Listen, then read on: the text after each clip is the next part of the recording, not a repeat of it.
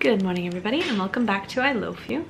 Today we are going to be making a German chocolate cake roll.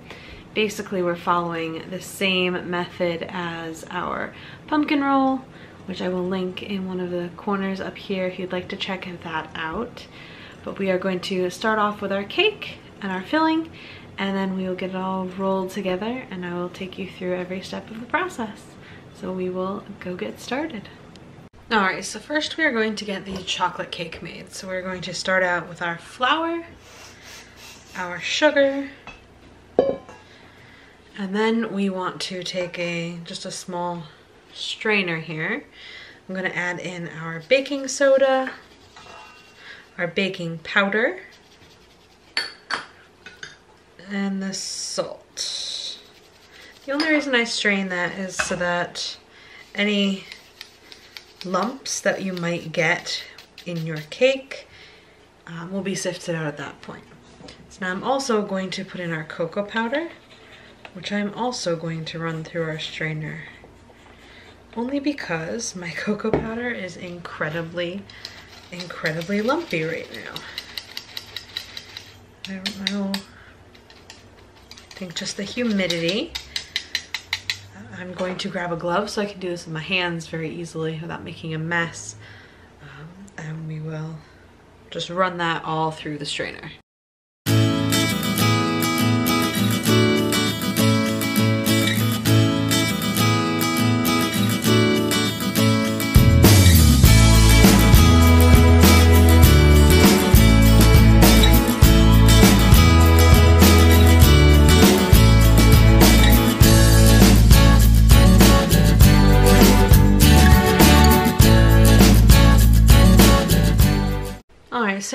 Just want to take your whisk and just blend these together.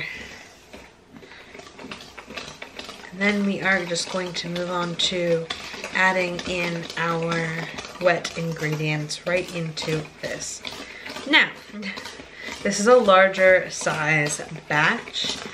I do recommend cutting this in half if you are doing this in a normal size mixing bowl and not making a mess like I am inevitably going to do in this video. Because this will probably fill this bowl with batter. Just keep that in mind. You may want to use a bigger bowl. So we are going to now add in our buttermilk. I'm actually using regular milk today because this is a lactose free regular milk so it's something that everybody could potentially eat um, where I'm going to be serving this. I'm going to add in our vegetable oil and then we want to just crack in our eggs. Just be careful not to get any of the shells in your batter. If you're worried about that, I would definitely crack them into a separate bowl to make sure that you won't have any shells. Now we are going to mix this up a little bit. We still have two more ingredients to add which will actually make this a little bit thinner of a batter. So now this has started to come together a little bit, we are going to add in our vanilla extract. I know I don't really measure, there are actual measurements of which you could use. Um, and then I am going to go grab my hot slash boiling water and we're gonna add that now as well. So just want to add this and make sure that you stir this slowly. Otherwise you will definitely, definitely make a mess. So we're just going to get these fully incorporated and then we will get these, the batter into our pans.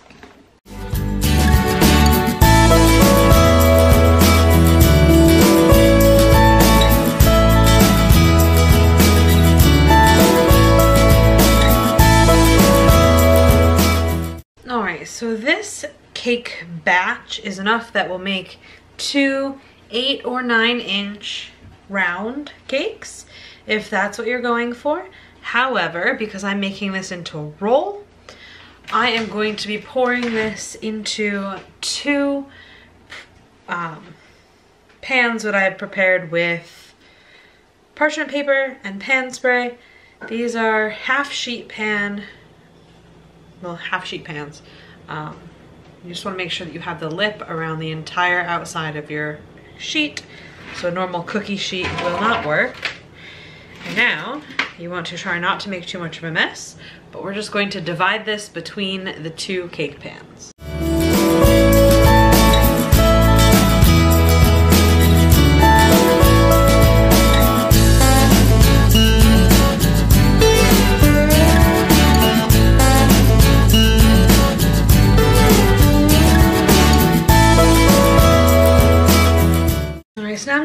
Put these in our 350 degree Fahrenheit oven. I have it preheated and we are going to let these bake. I will let you know how long I bake them for because I'm not quite sure yet how long they're going to take.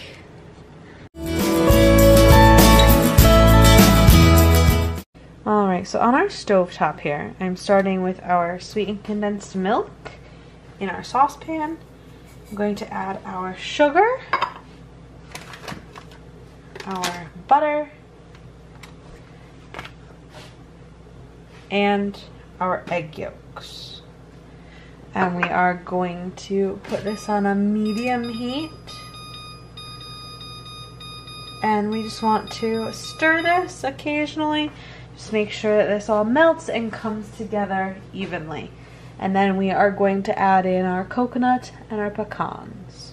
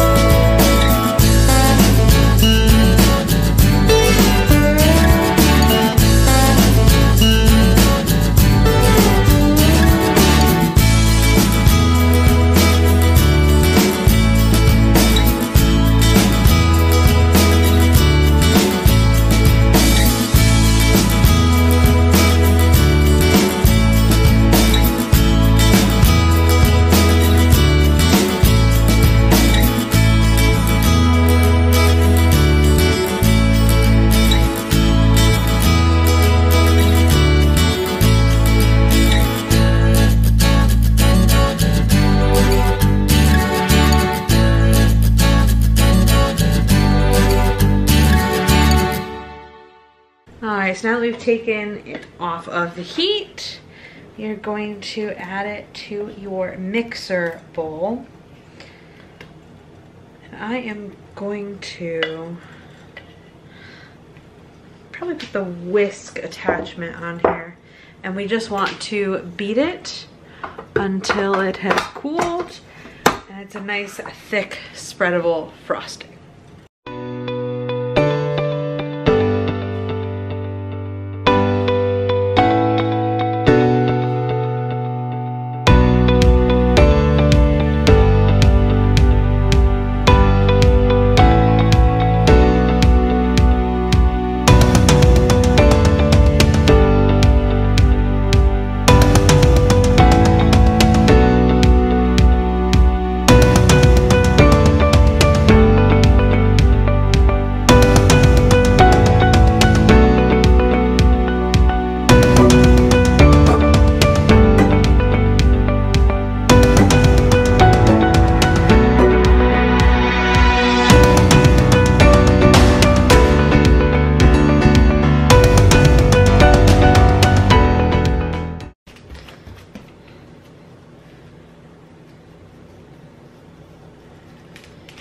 Want to add another kind of frosting in here as well, you can.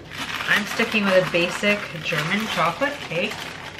So now I am just going to roll my cake. It's as basic as that. You're using all of the parchment paper pieces that are a, some of them attached to the cake and the ones that are just underneath to help you roll.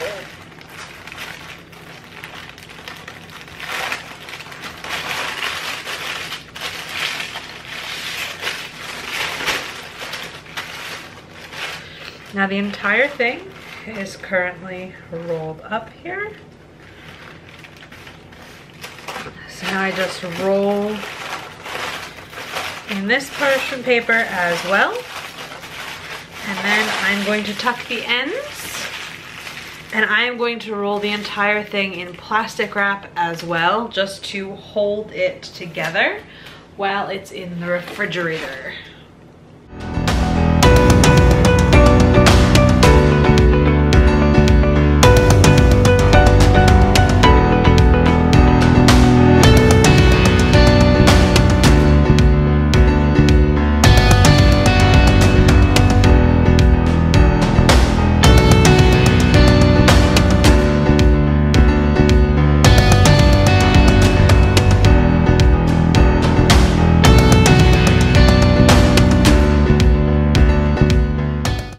Now I am going to take our German chocolate cake roll and we are just going to refrigerate this. I like to refrigerate it overnight before I do anything with it.